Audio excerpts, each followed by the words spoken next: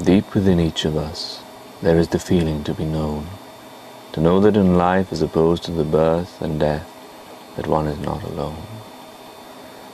Too many sad faces have I seen as I alone have walked the streets, women's lonely eyes hiding the shame of a loveless marriage all over again.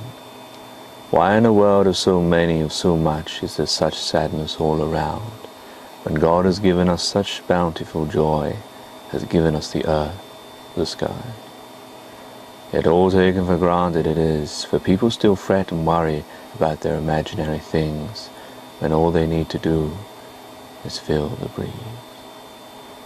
There is such a warmth to be found in each individual, a love, a kindness, a compassion. It should be found before it is too late. But some wander far and may never return. All their goodness is squandered and they are left forlorn.